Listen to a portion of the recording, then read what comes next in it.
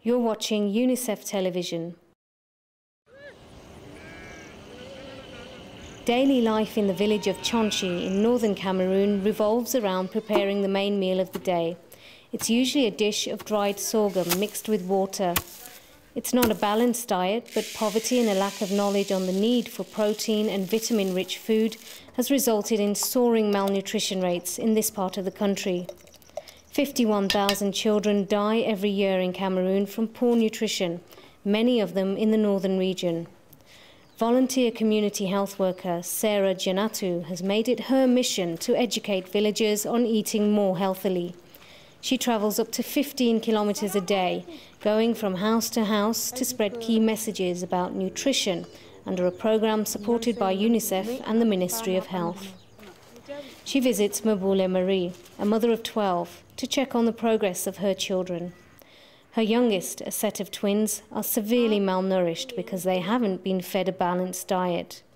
The effects have been crippling. At the age of two, the girls are still unable to walk. Mabule is also undernourished. A vital part of Sara's work is to teach families on the importance of eating a variety of food.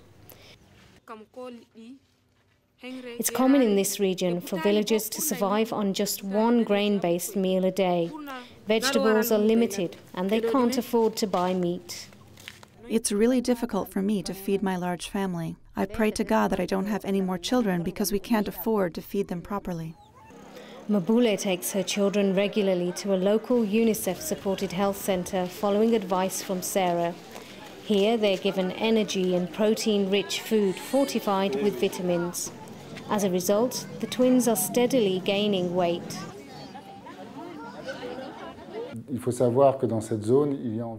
In this northern region, we have 100,000 malnourished children with rapid weight loss.